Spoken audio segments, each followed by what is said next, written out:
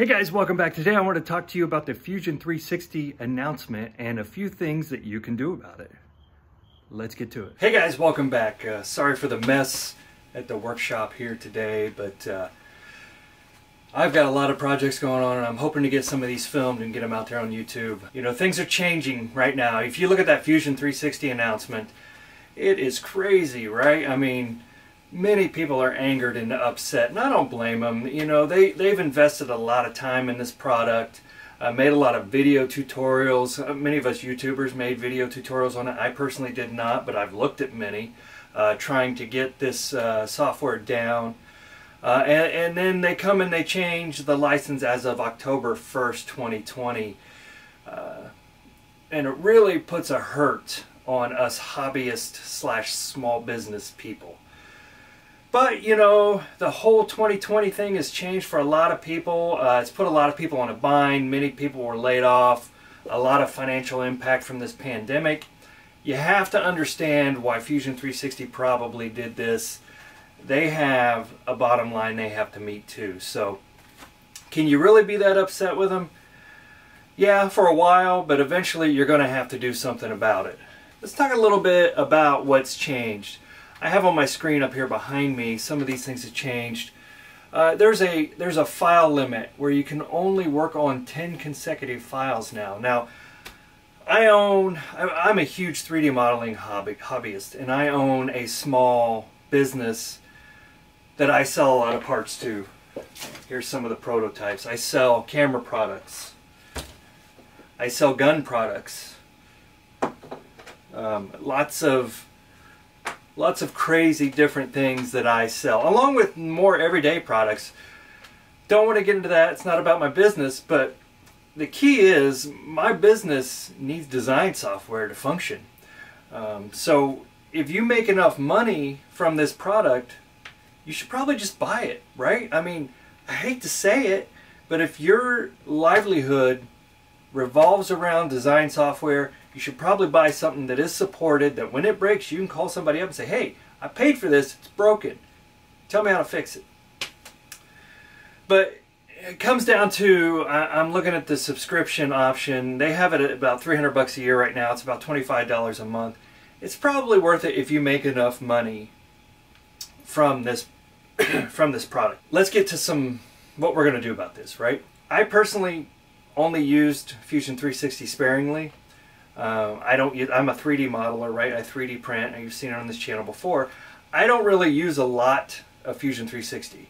So what are we going to do about it? If you're a hobbyist like me with a small business, there's other options out there, and I'm talking about open source options. These are options that nobody should come in and buy out from underneath you. I say should. I suppose there's there's going to be some someday that's going to happen, but you could keep the version you have without you know auto updates turn that off and use that for as long as you can use it until it has bugs that you can't tolerate anymore.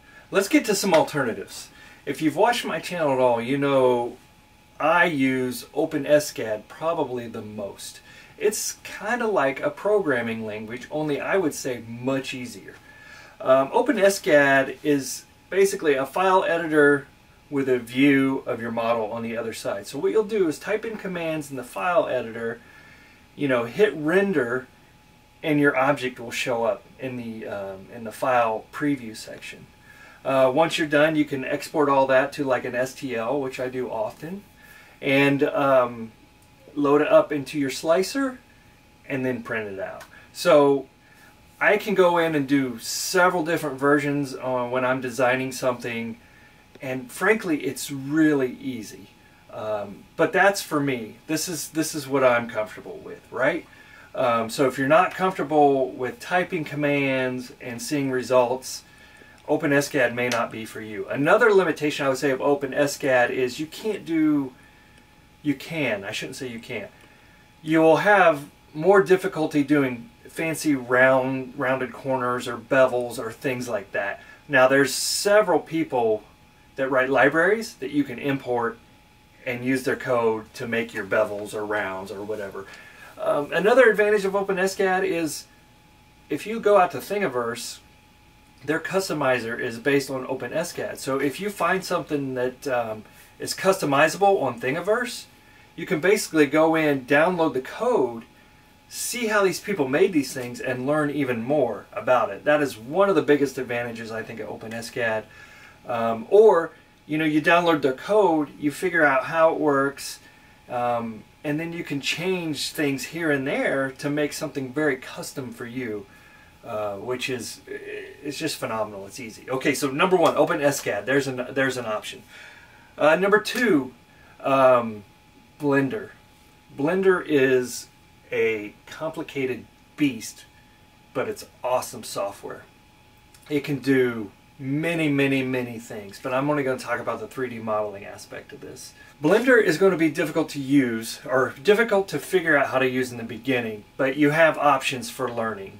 And I highly suggest if you're going to learn to use new modeling software, Blender be on the top portion of your list. It's so, so powerful. Uh, you've got options to learn are um, YouTube, obviously. There's a Blender guy on YouTube that really does uh, a good tutorial. He makes a donut, I think is what it is. I'll, I'll link that in the description so you can see and, but he shows you like making basic shapes, making uh, holes or fillets or whatever you want to call those, right? As they go through uh, shapes, um, adding layers. Very, very, very powerful program.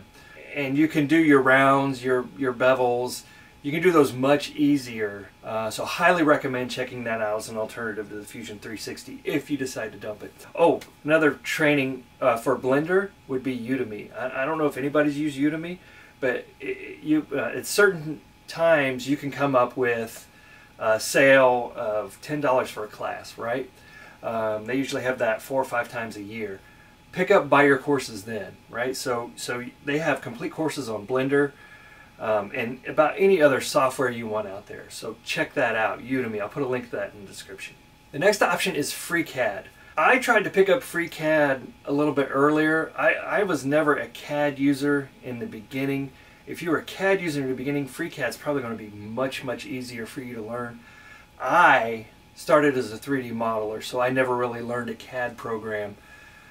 Uh, so it's it's more difficult for me to learn. But if that's what you came from, CAD, check it out. It definitely could be worth it. It's it's 100% open source. there's there's difficulty in finding training for three for FreeCAD. Um, but FreeCAD's training problems, there's not a lot of info out there. Um, now they have on their website a lot of practice exercises you can go through to get familiar with the product. And that's probably if you're a current CAD user, like I said, you can go through those exercises and pick it up really fast. Uh, if you're not a CAD user, that's going to be more difficult. Well, that's all I have, and you know, I'm sorry that this has happened um, to you because I know you're probably upset, but just want to let you know there's other options out there. Uh, I'm going to make an open OpenSCAD playlist. I'm going to put it up here so you can click on it and, and check it out if you want to look at OpenSCAD.